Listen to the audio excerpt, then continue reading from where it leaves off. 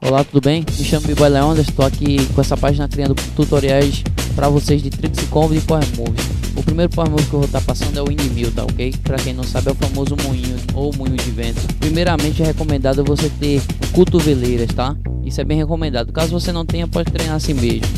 É, também, segundo passo, tem um blusão, tá? Para treinar, treinar o windmill, pois ajuda a não criar feridas nos ombros, tá?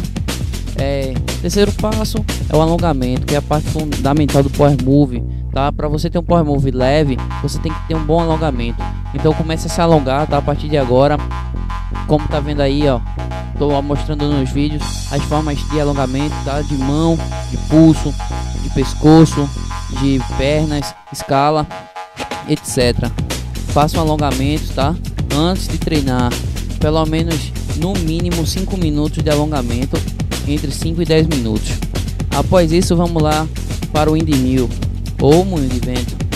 Primeiro de tudo, para você fazer o moinho de vento, você precisa ter calma, tá? Na base, que é muito importante. Você tem que estar tá com o baby freeze no melhor nível dele. Como está sendo mostrado aí no vídeo a seguir, o baby freeze tem que estar tá perfeito. Você tem que ter dominado esse freeze para dar continuidade no windmill, tá ok?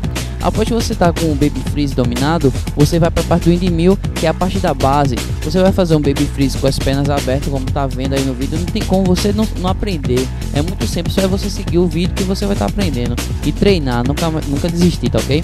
Você vai jogar o moinho. Primeiramente você vai deixar a mão de lado, não, não, não de frente, tá? Sempre de lado. E vai puxar o corpo pro lado, com as pernas abertas. Após isso você vai formar o Baby Freeze, essa é a parte fundamental. Quando você formar o Baby Freeze, você vai formar ele com as pernas abertas, fazendo aquela rotação para descer de costa no moinho. Aí vem essa parte que é muito importante também, que é a parte da descida, onde você vai descer sua mão lentamente, tá? A parte do braço vai descer lentamente no chão, para que não machuque, para que você dê continuidade e deslize de costas, formando backspin, que é o famoso giro de costas, tá? Que a, a galera old school faz. Continuando com isso, após você estar tá fazendo essa parte aí, simples e fácil, você vai pra, passar para a parte 3. Qual é a parte 3? É a parte onde você vai voltar para o Baby Freeze. Se você perceber, você vai fazer rotação repetida e contínua. O windmill é isso, qualquer power move é isso, é rotação contínua e repetida. É a mesma coisa, só que feita várias vezes. Aí fica bonito, fica legal. Você vai descer no moinho, desceu no moinho, girou de costas, voltou pro baby freeze, de novo.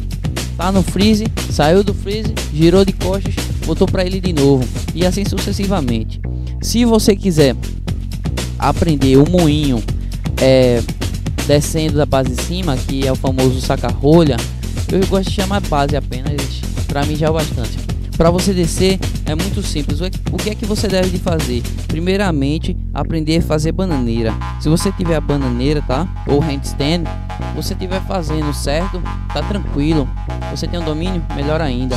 A essa parte você vai aprender a girar com a mão, como estou mostrando aí no vídeo, e vai continuar fazendo esse movimento repetidas vezes, tá? Após que estiver fazendo ele, só é você descer na mesma base que você está fazendo o moinho. Você vai descer um exemplo colocando bananeira, cotovelo e descendo de ombro, só que nesse movimento giratório que eu estou mostrando agora no vídeo. Você vai fazer isso e vai girar com as costas, formando o famoso backspin. Após você aprender isso, já é meio caminho andado. Só é você continuar no windmill e se divertir com seu novo movimento, seu primeiro power move, tá? É, esse foi o primeiro power move, que é o windmill. Vocês aprenderam agora, espero que tenham gostado, tá?